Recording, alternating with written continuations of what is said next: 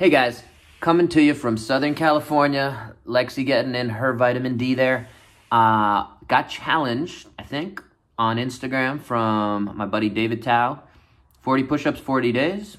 Not exactly sure what the rules are, but wanted to take it as a chance to hit up a few push ups and talk about the push up real quick and some variations we can do on it. So, number one, looking from the side here, uh, similar to how we do a squat, we want to make sure that the wrist is underneath the shoulder as we're doing some push-ups. So I see a lot of weird, funky positions when you're doing an idealized push-up. Gonna get my feet underneath me, tighten everything up, straight body, and press up and down.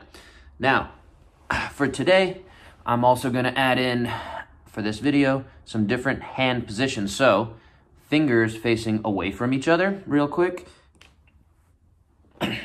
Fingers facing each other is going to put the shoulders in some funky positions. Obviously, if you have pain in the shoulders or any of these, we're going to avoid altogether. So, fingers facing each other.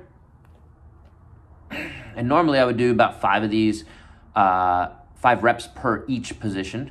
All right, this is the really tricky one. Uh, show off from the side here. So, fingers facing back towards your body. Okay do an extra one there. Really gets the wrists firing up, opening up. Um, yeah, that's a good one. Uh, you could do fancier version with the palms down.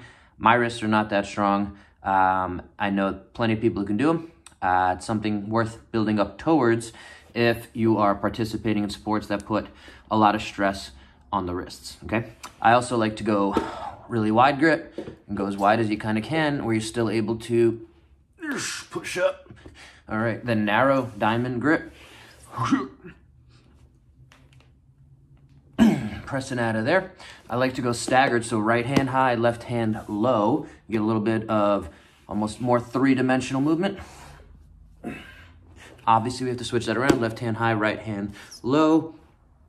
All right, uh, there's many other variations of push-ups we can do. I'm not sure how many that is towards my 40.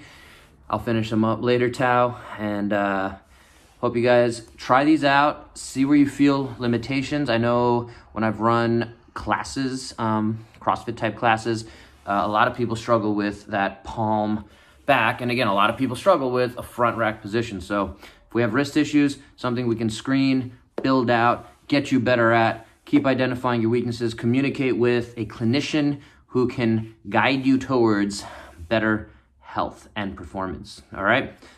See you soon.